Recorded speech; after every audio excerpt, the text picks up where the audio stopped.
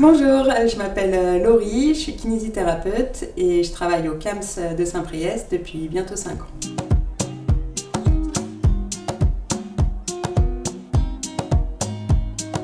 J'avais vraiment envie de travailler dans la santé, euh, je m'intéressais à tout ce qui touche au corps, j'aimais bien savoir comment le corps fonctionne et j'avais envie de pouvoir faire un métier où on est en relation avec, avec plusieurs personnes, enfin un métier humain.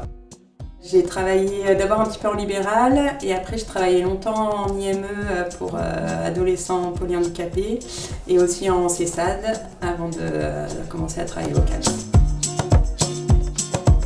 Alors au CAMS, le type de public est, vraiment très varié.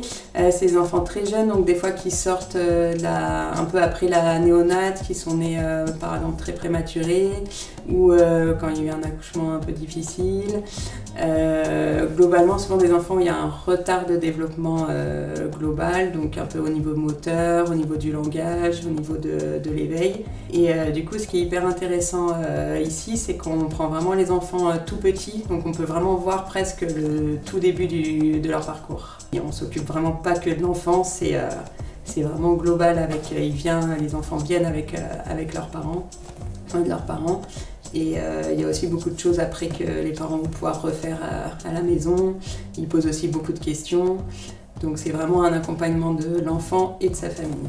Qui me plaît particulièrement, c'est qu'on s'ennuie jamais en fait. Il faut euh, tout le temps euh, chercher des nouvelles idées, il faut être créatif, il faut vraiment trouver des nouveaux jeux pour que l'enfant garde la motivation. On peut aussi faire des séances en binôme avec d'autres professionnels.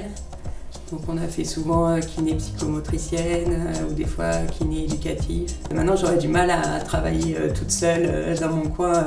C'est vraiment hyper riche d'être toute une équipe avec presque tous les corps de métier, en tout cas dans le paramédical, représentés. ça permet vraiment de croiser les, visions qu'on a de l'enfant et ça permet vraiment aussi de prendre en charge l'enfant dans sa globalité. C'est ça qui me, qui me motive aussi.